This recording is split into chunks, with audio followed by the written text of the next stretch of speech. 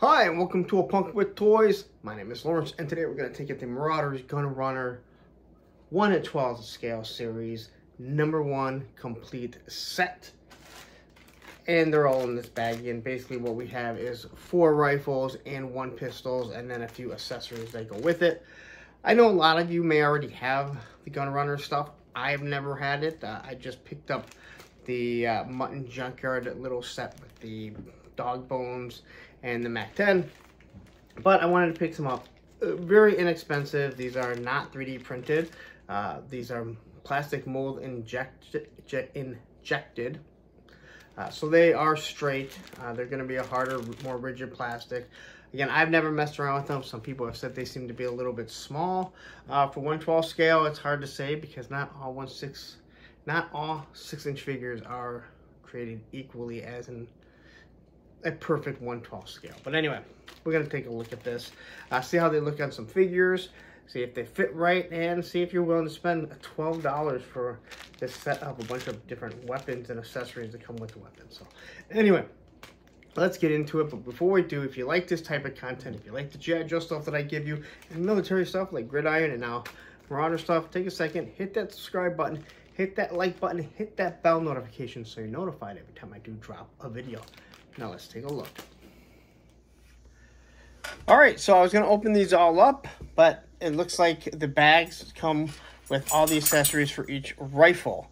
Uh, Roman seems to agree. So here we have, this is the sniper rifle. Uh, again, all black, nice detail to it. Uh, what I can actually see is there's a lot of holes here so you can use it for different scopes, different stuff that goes on the rail systems, different bipods. So we'll kind of start here and it is kind of hard to see, but there you have your bipod. You have your, what I believe is a suppressor, and it actually goes all the way on. So if you want your rifle to look like this, you can, or you can plug this all the way in and it does stay on. It's the same as the MAC-10. You have the magazine, which I do believe only goes one way, but again, I tend to drop these. I feel like anytime I get on camera, I end up dropping things like crazy. So there's your magazine, and then here you have your scope. And as you can tell, there's like three different spots that you can drop this thing. And want to make sure we get it in I think this is the right direction.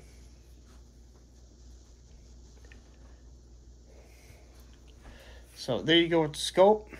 And it looks pretty nice. Can't really complain. Now there are no ports for blast effects. So if you are big into doing blast effects, you're not going to be able to do anything with it. But there's your sniper rifle. Maybe this can replace something for like shooter. Or if you really do not like Low Light's, maybe you can do something there. All right, the next bag that we have here is what looks like some sort of M4. All right, so there you go. There's nothing on the top, but as you can see, you can put stuff up, up on top of it. I'm assuming maybe there's other accessories in this baggie that will be universal along across the board. So you do have one magazine here. that feels kind of loose. Oh, maybe it goes, it looks like it goes only one way. They can fit in both ways, but it must be a little bit tighter there because it seemed to go up and stay up pretty well. And then what we have here is, well, that's a really good question, what that goes to. I have no idea. As I'm trying to look, it looks like it's it's a rectangle here where it should kind of peg in. But I don't see where that goes, so I guess we're going to leave that down and we're going to look for that a little bit later. So here is your uh, AR. Again, not bad. Some nice little detail to it. You really don't even notice the holes because it's black. Again, tip of the gun looks really nice. We're going to look and find out what that is in a short bit. Here we have the SAW machine gun. Open these things up. So.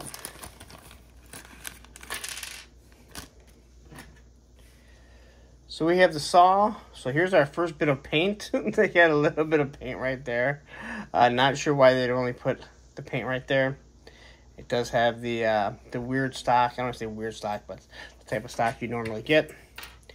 Here you have a an ammo canister painted green, and then the bullets actually look really nice.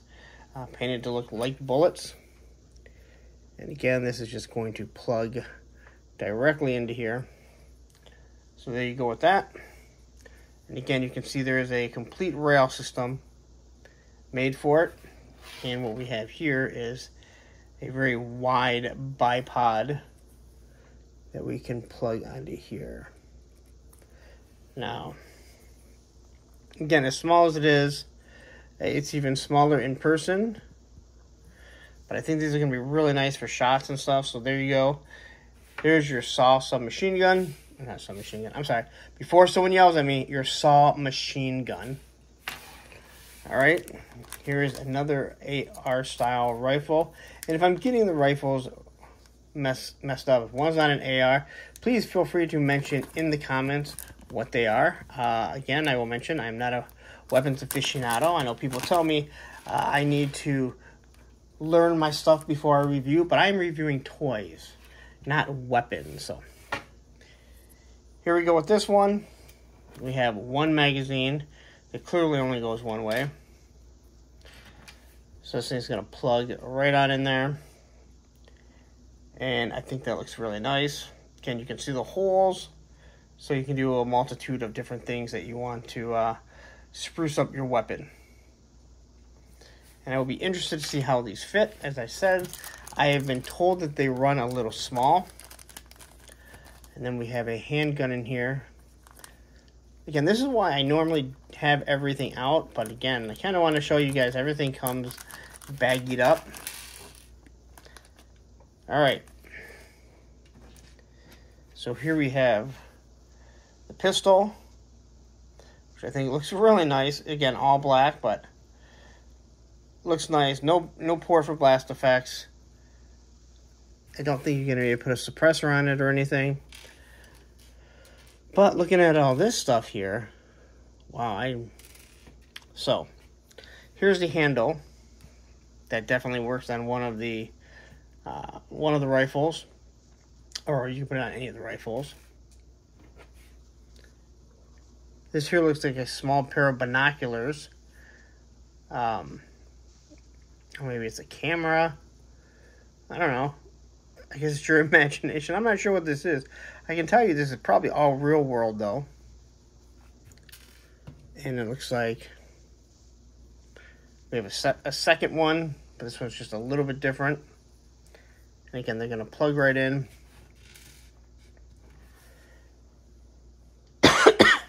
Sorry, I was trying to avoid that. Looks like maybe we have another scope here.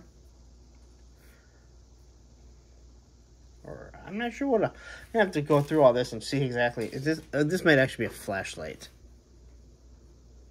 And it might actually be a flashlight. Looking at it. And then you have a scope. That is a scope, right? Well, we're going to guess it's a scope of some sort. so there you have everything. I'm still interested to figure out what this is. So that's what I'm going to figure out what this is. I'm going to post each figure with this. Again, I'm not going to go into how hard it is to pose the figures, uh, just because I do that for my reviews of the actual figures. I don't think you really want to see that.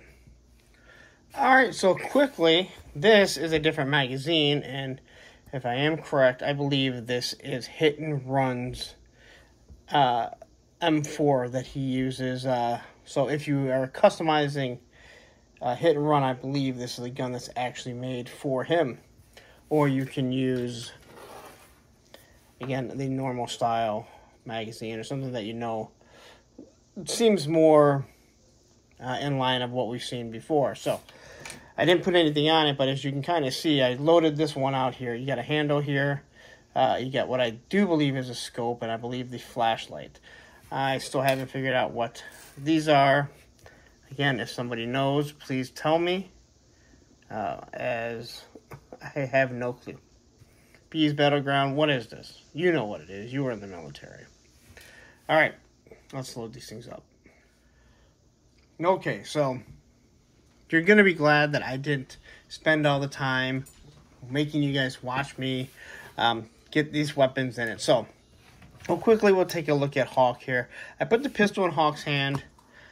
Now, I definitely think this thing looks kind of small. Now, if you want to use it like a Recondo's gun, I think it's going to work really well. Here is one of the guns, one of the pistols that Hawk comes with, and you can kind of see the size difference in his hand. Uh, it doesn't look bad, but again, it is kind of small, so I think I might be replacing it with this bad boy here, who's already customized, or kit bashed, I want to say customized. Uh, the saw, in my opinion, definitely seems kind of small. Again, I put it on Roadblock, and if you don't know, Roadblock is on the biggest buck other than Serpentor that the classified team is making right now. So, it doesn't look bad.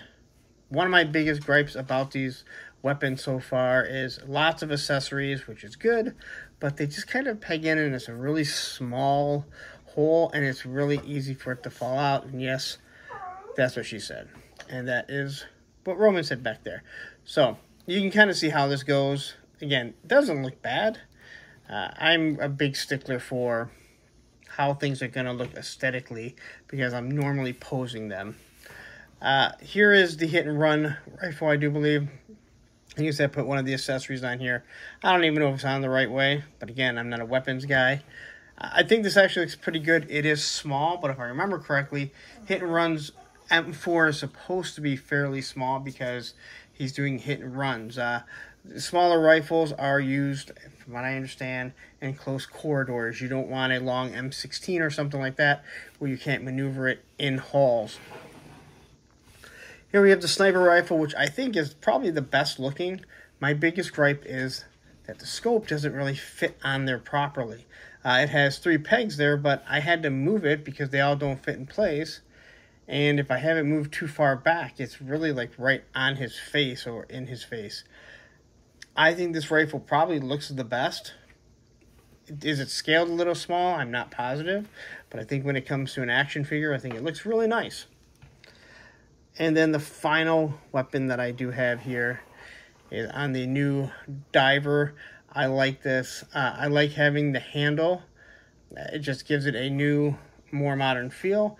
Again, I believe that is a scope, so I left it there, and I believe that is a flashlight. So kind of put all that together, and I think it looks nice. Again, nice weapons. Twelve dollars for the all for this whole pack. So again, I ordered, you know, these weapons, and then I ordered the Mac 10 for Mutt and Junkyard, along with three little biscuits for $2. So the whole thing came out to be $17. So it's not a bad price for everything. But again, um, I don't know. It's up to you. You can buy other uh, companies that have a full pack now with more weapons, maybe scaled a little bit different. Some are scaled right, some are not, for, you know, the same price. So your choice, but again, lots of different weapons to choose from different manufacturers. All right, so there you have it. That is the Marauder Gun Runners uh, 112th set series 1 or first weapons. What can you say other than we have multiple manufacturers that are making real style military weapons uh, for the G.I. Joe Classified, Valaverse, uh, or any other line that you might be getting into soon, or if you, hey, maybe just want to spruce up your Marvel Legends figures that you think need real world weapons. Uh, they're not bad. I don't think they're a bad price at all. Uh, I think they come in. I think they come in price pretty well. You're behind, you know, you're right in between a Valaverse and a Gridiron set. But again, four rifles, one pistol, a bunch of different rail accessories. The one thing I will say, you won't be going out into the woods uh, with the accessories and not thinking you're going to lose them. So there you go. I will post a link in uh, in the description. All right, so there you have it. That's the Marauder Gun Runners 112 scale series one is complete weapon setter, whatever they made. Again, I think they're good. Again, they fit a purpose if that's what you want, and you're going to get different weapons that you're normally not used to having in some of the other companies that I've seen. If you hear that whining, that is my dog Roman. If you don't know who Roman is, it's because you're not watching Monday Night Toy Ramblings. Anyway, I'm going to get out of here. But hey, you know what? You stayed this long, take a second, hit that subscribe button, hit that like button, hit that bell notification so you're notified anytime I drop a G.I. Joe video or some other military style like Marauder Gun Runners or, uh, yeah, whatever that other one is, uh, Gridiron. I'm to get out of here, but don't go anywhere. Up here is the Mutt and Junkyard Mac 10 set, the gun and grub. And here's to be the playlist of something else. Probably Gridiron. Take care.